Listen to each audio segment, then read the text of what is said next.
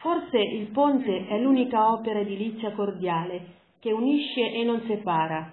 Solo il ponte è fabbrica di unione e collegando rive scavalca rivalità.